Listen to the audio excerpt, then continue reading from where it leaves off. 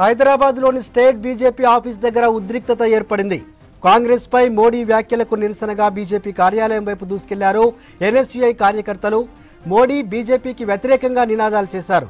కార్యకర్తల్ని అడ్డుకున్నారు పోలీసులు.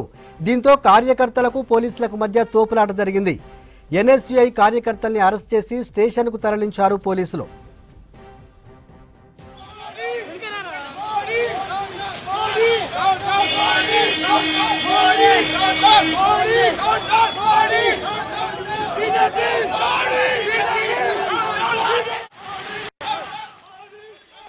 హైదరాబాద్లోని స్టేట్ బీజేపీ ఆఫీస్ దగ్గర ఉద్రిక్తత ఏర్పడింది.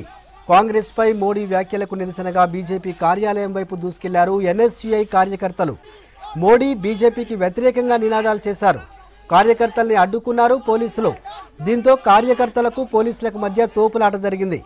ఎన్ఎస్యుఐ కార్యకర్తల్ని అరెస్ట్ చేసి స్టేషన్కు తరలించారు పోలీసులు.